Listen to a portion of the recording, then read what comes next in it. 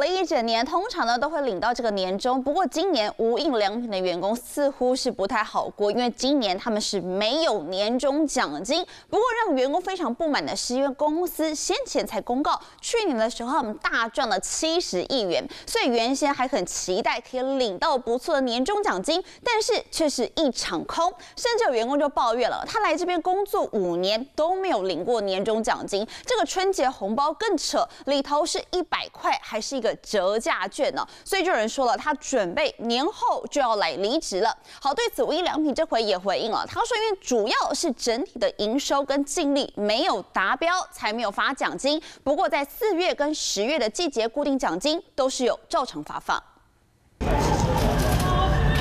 员工爬上爬下换广告看板，一旁同事也一一折好民众试穿完的衣服。即使春节除夕能下午四点半下班，但他们似乎开心不起来。不止春假客人大爆量，让他们心情更差的是口袋空空。应该是大家直播节问题，因为你前面说你有盈利，你没有给伙伴有任何的。台湾无印良品内部公告，二零二三年营收达新台币七十亿元，比前一年度成长近百分之十五。今年却没有发放年终，让第一线同仁难以接受，甚至传出罢工声浪。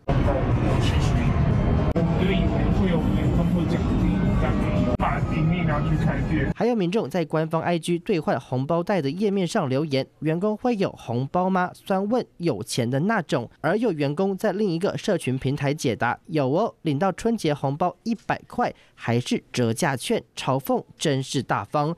还有前员工回应：“去年是拿到刮刮乐一百块。”面对百元红包掀起争议，无印良品没有多做回应，但针对年终，透过声明表示，年度奖金分为变动和季节奖金。这次引起讨论的属于变动奖金，在营收及净利皆未达成年度目标设定下没有发放，造成伙伴们不满，很抱歉。但承诺四月和十月的季节固定奖金将照常发放。最近的离职管就比较高，领了吧，蛮久，没有年终的。员工透露，今年不是第一次没发年终，对公司说法打上问号。而无印良品要如何留住人心，还得靠具体行动。华视新闻综合报道。Hello，我是雷亚，想要抢了先掌握最及时的新闻资讯吗？赶快订阅、按赞、开启小铃铛，锁定华视新闻 YouTube 频道。